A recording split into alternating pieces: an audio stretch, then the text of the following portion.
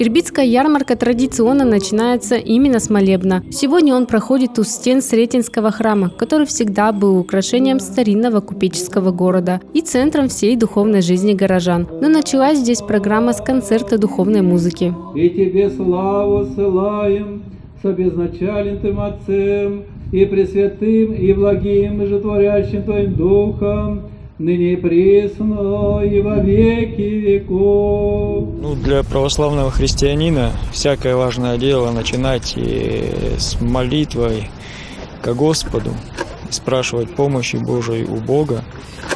Это всегда было в традиции. А наш народ, он весь православный, поэтому мы тоже, начиная такое важное дело, как Кирбитская ярмарка, начинаем его с молитвы.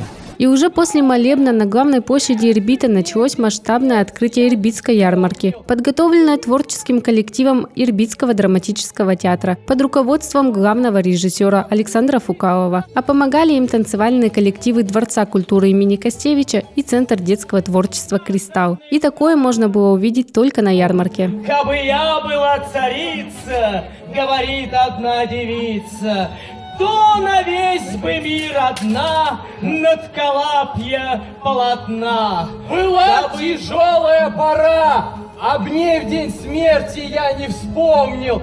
Для огней, для вас, мои друзья, сейчас пойдет...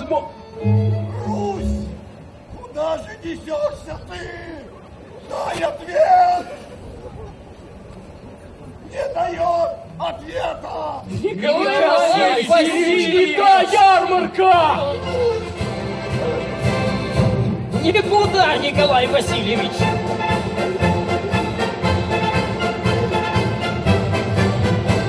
За что ж с Гоголем-то так? Жалко его.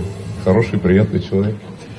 Я искренне рад возможности приветствовать жителей города Ирбита, наших уважаемых гостей и участников Ирбитской ярмарки от имени губернатора Свердловской области Евгения Владимировича Куйвышева, от имени правительства Свердловской области. Приветствовать на таком масштабном, значимом мероприятии с такой колоссальной историей и, что самое главное, с общим признанием. Мы все помним, что Ирбитская ярмарка получила и гордо несет звание лучшей ярмарки России. Можно поаплодировать. И с каждым годом это звание не просто подтверждается, ярмарка растет, расширяется, так же, как и растет, расширяется, обновляется при поддержке губернатора город Ирбит.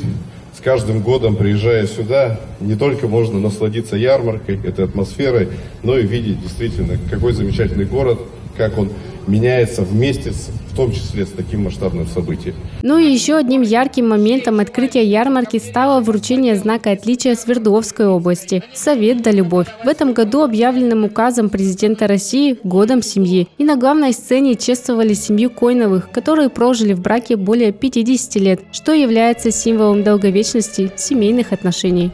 Знак отличия Свердловской области «Совет да любовь» супругам Койновым вручает заместитель губернатора Свердловской области Дмитрий Александрович Ионин. От всех ирбичан и гостей нашего города мы желаем Галине Аркадьевне и Ленуру Валерьевичу Койновым крепкого здоровья и долгих лет жизни.